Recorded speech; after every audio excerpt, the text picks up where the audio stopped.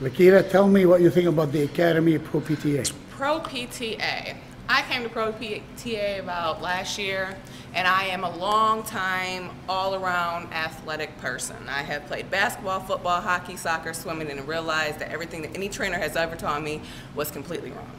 However, coming here, you get to work with people who know how to do it and who have made the mistakes. Thank you, because I'm a person that is a visual person. They actually help you this time. Um, anything else, you know, you just gotta be really thankful to be here. Thank you. Bye. Deuces.